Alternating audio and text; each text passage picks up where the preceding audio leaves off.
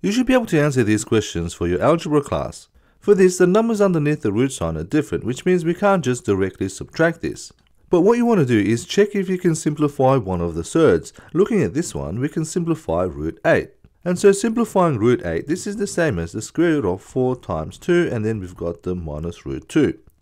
Splitting the first square root, this is going to be the square root of 4 times the square root of 2, and then minus root 2. The square root of 4 is equal to 2, and so this is going to be 2 times root 2, and then we've got minus root 2. Now we've got the same number underneath the root sign, and so we can combine these two surds. 2 times root 2 minus 1 root 2 is equal to 1 root 2, and so this is equal to root 2. Now if you want to understand surds much better, then get this book because everything is explained in simple terms.